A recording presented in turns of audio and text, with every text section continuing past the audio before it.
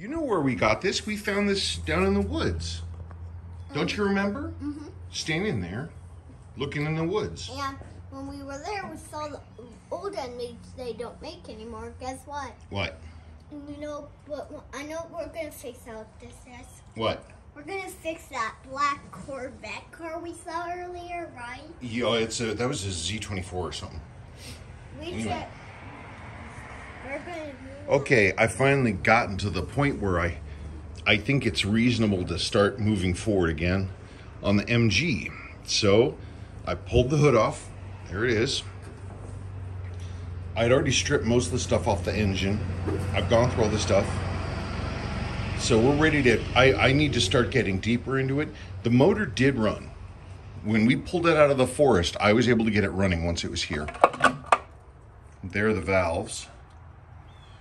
Again, the car didn't run for 36 years and it sat in the forest. So, I mean, for sitting in a forest for 36 years, that's, that ain't bad. Daddy, what do you? One second, buddy, dude. I'm just putting this back on here. There we go. Uh, hang on, Sebastian. Oh, I know the keys. I'm excited. So we're gonna pull it. Um, I gotta make some more changes. It's got the old upside down multi-part non-canister oil thing, and that's ridiculous.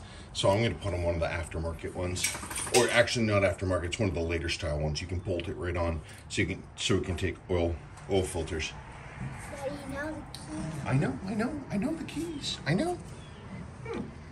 So, I mean, I got, you know, everything off and I'm just just looking in here. That's where the rust stripped everything down to the primer. And the engine obviously looks like it was you know, leaking a whole bunch and some other stuff. I'm not sure what we're going to find in there, but I have to get an engine jack stand and we're going to pull all that crap out. But the next thing happens, next thing we're going to do is these fenders are going to come off.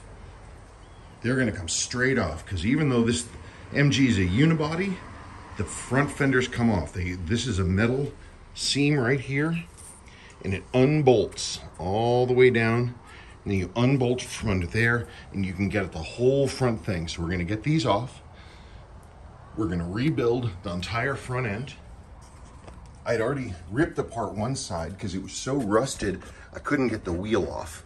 So I literally had to disassemble the entire front end, but I'll rebuild all that stuff. And again, this is the blaze orange color that everyone in the 70s painted their MGBs because it was such a super popular color. It's the same color actually as the that Seiko uses on the sweep hands on the blue 6139 6000s. But here are all the here are all the layers of paint. And I'm pretty excited about that because we're going to take it back to that. There's the original primer and the original paint. I mean, how many paint jobs that the damn thing have? One, two, three, four, five, six, unless there's a coats.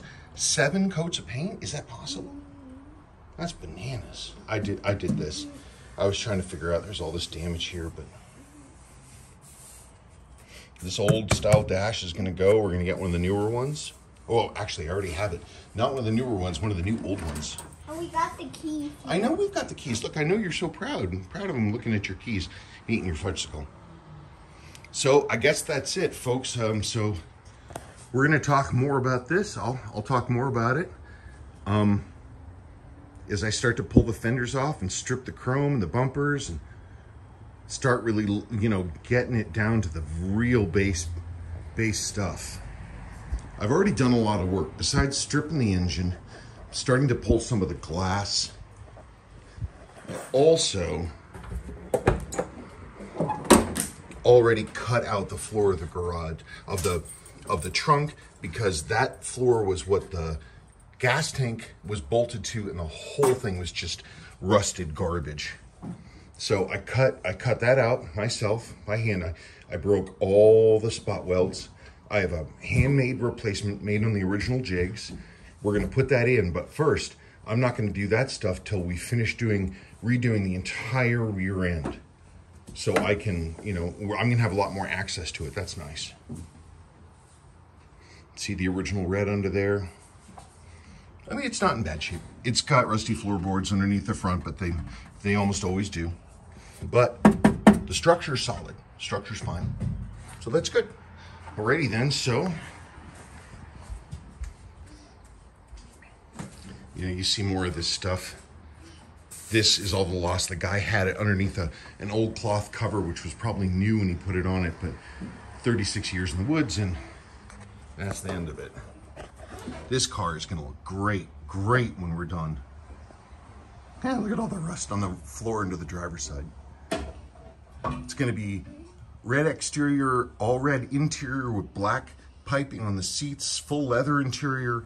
Um, it's gonna have the early style dash, uh, which looks like, hang on a second, the early style dash like that. They're really pretty. Okay, hang on. And So you said you want to have the lockdown like racing posts here with like the the the things, the locks through through the hood, right? And you want to have you said you want to have a big air scoop on the hood here, yes? Huh. Well, I, I wonder what we're going to feed all that air to, or if we're going to go that fast and need those. But I will take that under advisement. Do you think that's be a good idea? Is that what you want? I'm asking you. You think that'd be cool? Alrighty. All right. I'm moving. Oh, that's why I was filming. Sebastian just did his first ever piece of work on this. The old weather stripping was still on here, and he helped me pull it off. So it all came off nice and clean and smooth, and we are moving ahead.